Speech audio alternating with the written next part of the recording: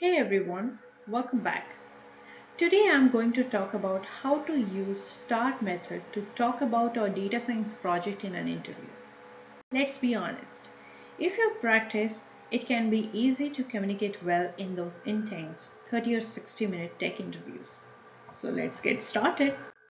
What is the STAR method? This is situation, task, action and result. This method helps you organize your answers to cover all the crucial parts of your data science project. First is situation. So here start by explaining what your project is about. Describe the problem you are trying to solve. Now consider you work on a data science team at a bank and your goal is to improve the bank's ability to spot credit card fraud.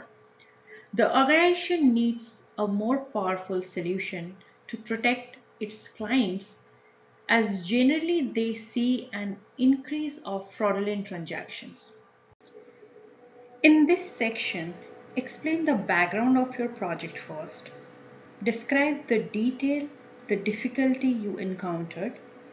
Your work is to make a model for detecting fraud that can look at credit card transactions and flag anything that might be fraud.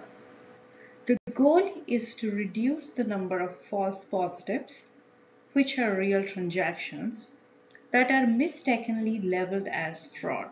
Now, for example, I can say that I used a machine learning algorithm to look at how customers behaved, did some exploratory data analysis, and made models that could predict what would happen next.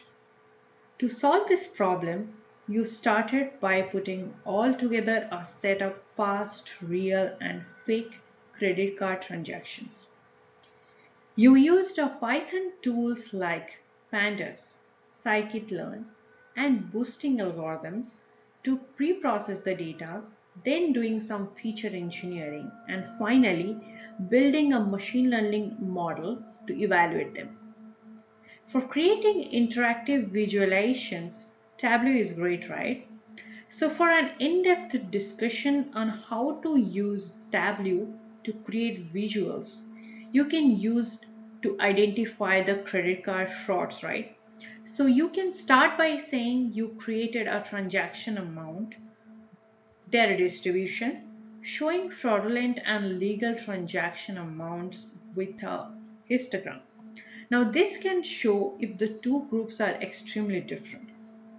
Then you can create a daily line chart of fraud and legitimate transactions. This can determine if the fraud is more likely at a certain period of time. Now next you can explain different kind of trend or a heat map for feature relationships. See how transaction amount or the time during day that relate, you can say all this using a graph. Now this can help you identify the fraud detecting qualities. Lastly, a ROC graph show how well a machine learning model works. They generally highlight the trade-off between true positives, false positives, accuracy, and recall.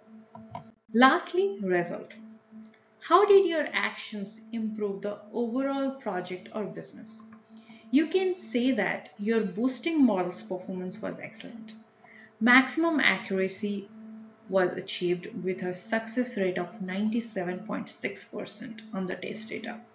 Now, when this model was implemented into the real-time transaction processing system, the financial institutions saw a significant drop in fraudulent transactions customers' faith increased and we have saved plenty of dollars.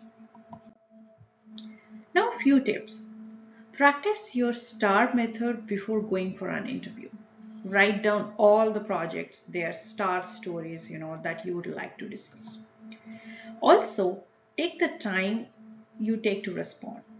To highlight the relevance of your work, provide some quantitative information whenever possible. Be sure that you provided some examples that highlight both your experience and the qualities the business is looking. That's all.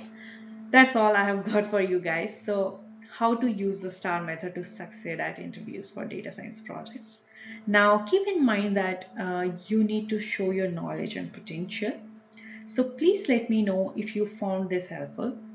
Keep researching, analyzing and mastering those interviews. All the best. Take care.